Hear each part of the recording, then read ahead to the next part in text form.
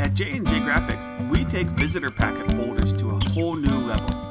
Our folders come in four different shapes and sizes that allow you to pick the packet that matches your church. We have over 25 different designs that are all customized to match your church. Customization includes changing the colors, pictures, logos, and contact information. Our standard folders have two inside pockets, and they also have slits on the right pocket for holding a business. While our 25 different designs make it easy to get a great looking welcome packet, sometimes you need something a little different.